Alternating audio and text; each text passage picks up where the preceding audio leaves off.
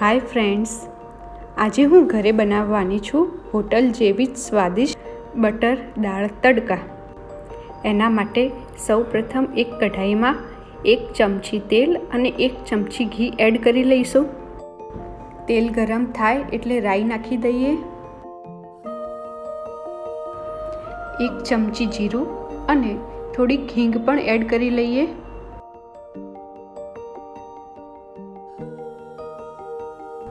પછી તેમાં ચોપ કરેલું લસણ અને મરચું નાખી ને સહેજ ગોલ્ડન બ્રાઉન કલર થાય ત્યાં સુધી હલાવીશું. ચોપ્ડ ગાર્લિકની જગ્યાએ તમે ગાર્લિકની પેસ્ટ પણ યુઝ કરી શકો છો. આપણા લસણનો બ્રાઉન કલર આવી ગયો છે, તો હવે તેમાં એક ડુંગળી કાપીને એડ કરી લઈશું.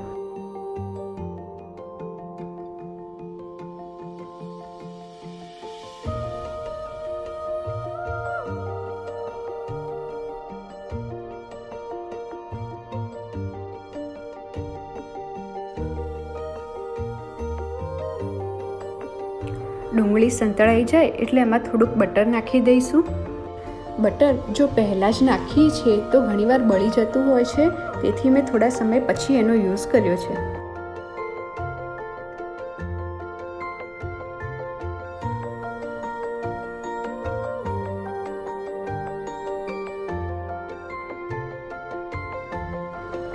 ડુંગળી હવે થઈ ગઈ છે, તો એમાં એક ચોપ ટમેટું પણ એડ કરી દઈશું.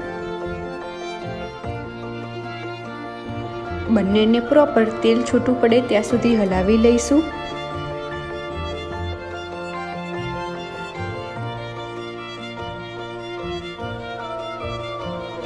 થોડીક કોથમી નાખીને તેને પણ સાથે હલાવી લઈશું અને મેં છેલ્લે કોથમીને ગાર્નિશ કરવા માટે પણ બચાવી રાખી છે.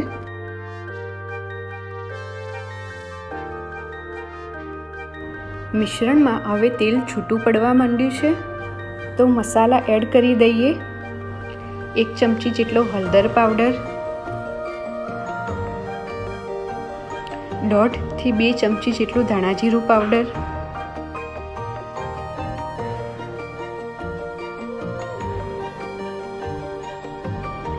એક ચમચી લાલ મરચું.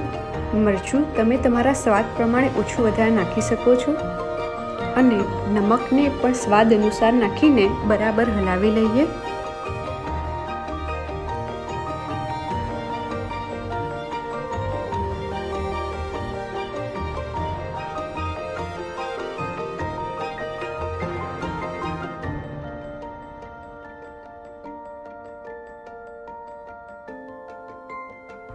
મસાલાને પણ બરાબર ચડવા દઈશું જેથી બરાબર મિક્સ થઈ જાય.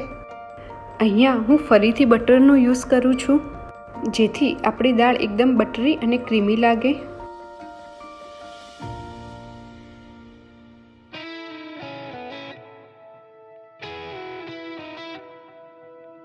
આ મિશ્રણમાં થોડુંક પાણી એડ કરી લઈશું, કે જેથી આપણો મસાલો બળી ન જાય.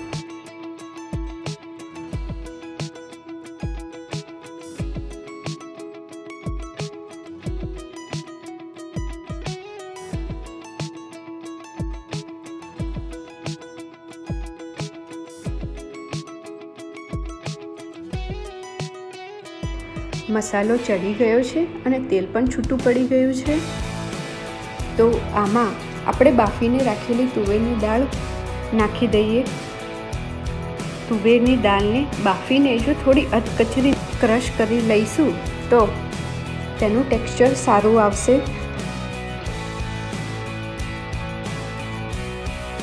દાળને બરાબર મિક્સ કરી લઈશું.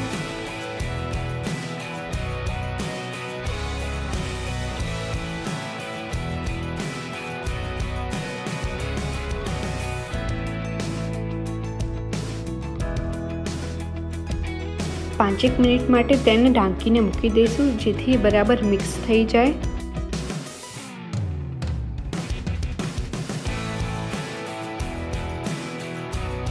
દાળ થાય ત્યાં સુધી મેં મારા જીરા રાઈસ પણ રેડી કરી દીધા છે કે જેથી હું દાળ સાથે તેને સર્વ કરી શકું. દાળ બરાબર મિક્સ થઈ ગઈ છે. તેમાં અડધું લીંબુ નીચોવી દઈશું. લીંબુને કારણે દાળની વાયુ પ્રકૃતિ પણ ઓછી થઈ જાય છે. દાળને સ્વાદિષ્ટ બનાવવા મેં કિચન કિંગ મસાલાનો ઉપયોગ કર્યો છે. અડધી ચમચી જેટલો કિચન કિંગ મસાલો નાખી દાળને કોથમીરથી ગાર્નિશ કરી લઈશું.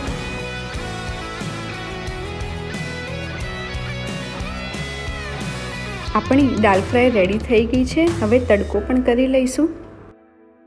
તડકા માટે એક ચમચી તેલને ગરમ થવા મૂકી દીધું છે. સાથે મેં એક ચમચી ઘી પણ નાખ્યું છે.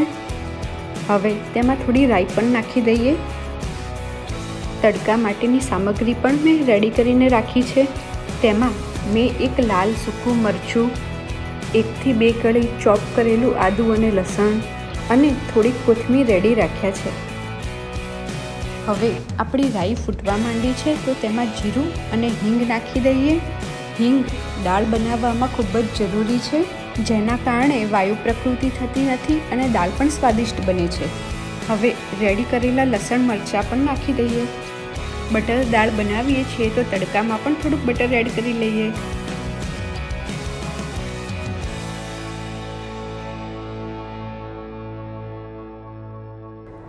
તડકાને કલર આપવા માટે થોડુંક લાલ મરચું નાખીએ, એટલે હવે આપણો તડકો રેડી થઈ ગયો.